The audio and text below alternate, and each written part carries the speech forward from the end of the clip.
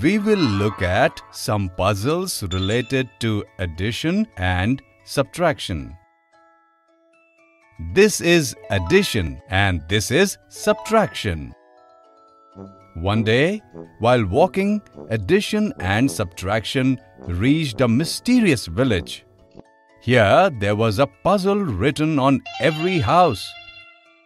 Addition and subtraction are tired after roaming in the hot, burning sun. They think that they should go to one of the houses and take some rest. They are standing in front of a house, but the door of the house is closed. This puzzle is written on the roof of the house. In this village, 25 houses are of yellow color and 20 houses are of blue color. How many houses are there in the village? First, subtraction tried to enter the house. He tried very hard, but that did not open. Now, addition just went near the door. And look what happened! The door opened on its own. Children, can you tell why this must have happened? Does this have any relation with the puzzle written on this house? Yes, children, you guessed it right. We have to find the total number of houses in the village in the puzzle written on the house. To do this, we have to add the number of yellow houses 25 to the number of blue houses 20. As we need to make use of addition here, therefore addition could easily enter this house. Children, whenever we have to find the total sum of numbers, then we make use of the process of addition. Mm-hmm. Addition mm-hmm. and mm-hmm. subtraction took rest in the house and again started roaming in the village. This time they went and stood in front of a park. Addition and subtraction want to go and play in the park, but the gate of the park is closed and a puzzle is written on it too. Come, let's see what the puzzle is written on the gate of the park. This puzzle is written on the gate of the park. Here there are 75 rose plants and 32 marigold plants. How much more are the rose plants there than the marigold plants? Yes, children, you are guessing it right. To solve the puzzle written on the gate of the park, we need to subtract the number of rose plants 75 and the number of marigold plants 32. We have to use which method here? Subtraction. Therefore, the park gate opened easily by subtraction. Children, whenever we have to find the difference between the number of two objects, then we use subtraction. Addition and subtraction had lot of fun in the park. Children, in this lesson, we saw some puzzles related to addition and subtraction. We will see some more interesting examples of this in the next two lessons.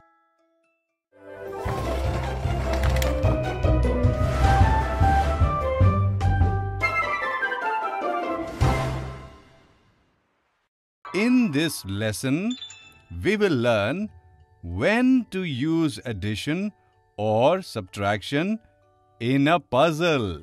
Today, Gaggu is conducting a magic show in the village. First magic has begun. He has kept in a flower vase 70 yellow flowers. Then he covered the vase with a cloth and swung his magic wand over it.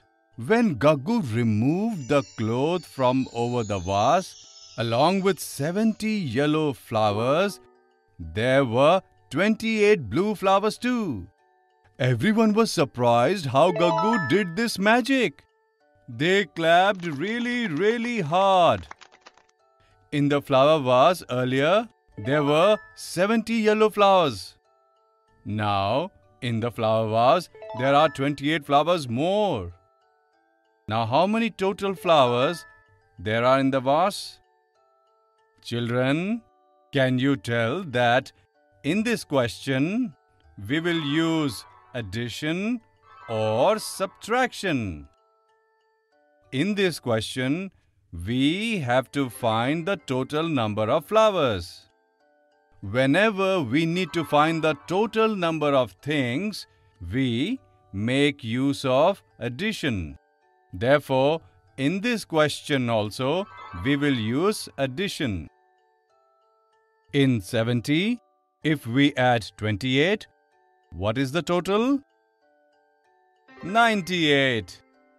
Yes, now there are 98 flowers in the vase. Babban was enjoying Gaggu's magic. But he felt that Gaggu was making a fool of them. Therefore, Babban hid behind the stage before the start of Gaggu's next trick, Gaggu began showing his third magic. First, he released 125 pink balloons in the air. Now he swung his magic wand in the air and there appeared 250 more blue balloons. Everyone started clapping happily and excitedly. At first, there were 125 pink balloons on the stage. Now, there are additional 250 blue balloons with them. Which balloons are more in number on the stage? And how much more? Children, can you find if in this question should we use addition or subtraction? Oh wow children, this is correct answer. In this question, we will use subtraction because the number of blue balloons is more than pink balloons. For this, from 250, 125 is to be subtracted. And now we can see that the number of blue balloons are more than the pink balloons by 125. When Gaggu was showing his magic, then Babban saw that Appu elephant was hiding behind the stage. Actually, Appu was the one releasing the balloons from behind the stage. Appu became nervous seeing Babban and out of fear started running across the stage. Seeing Appu, everyone understood that Gaggu was fooling them. What must have happened then? This you can understand very well. Children, in this lesson we learned when to use addition and when to use subtraction in a question or a puzzle.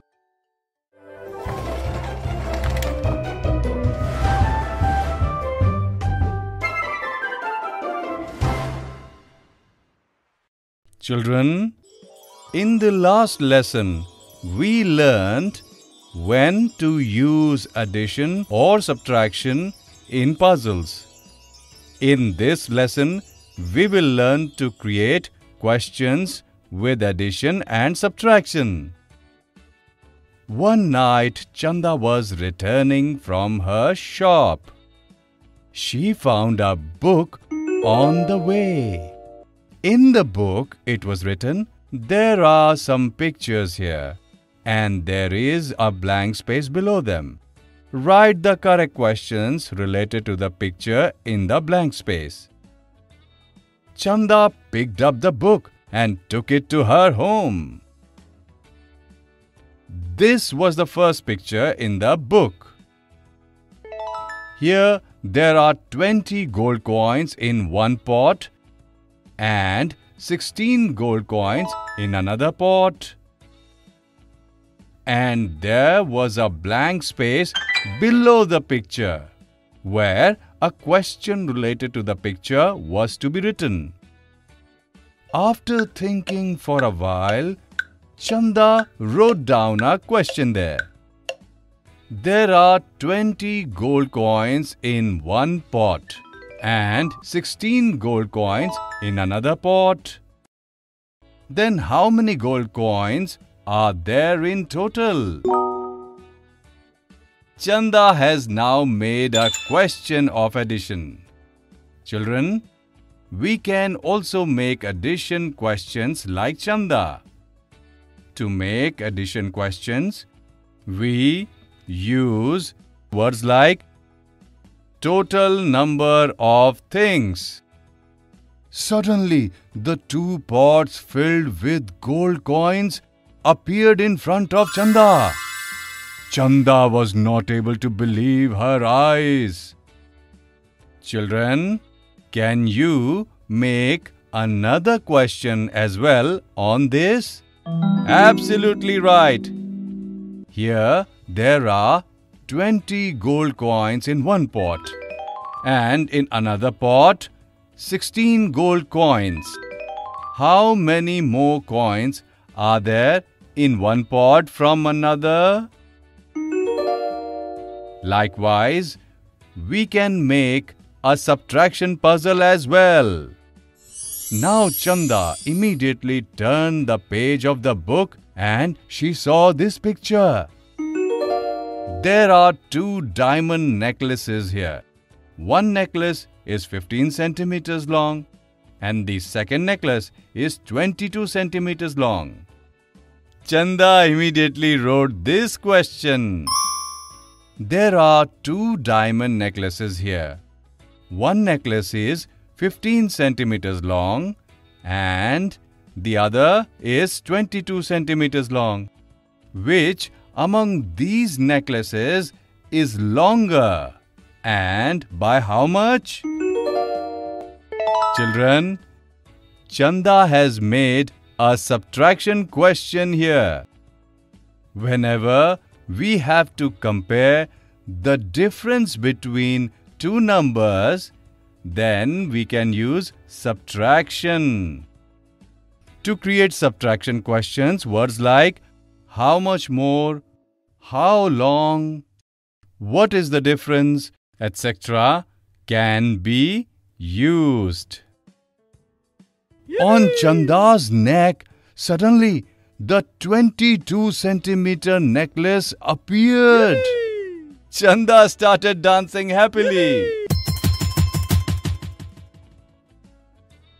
The next day, Chanda tells Babban about her magic book. Out of greed, Babban borrows the book from Chanda for a day.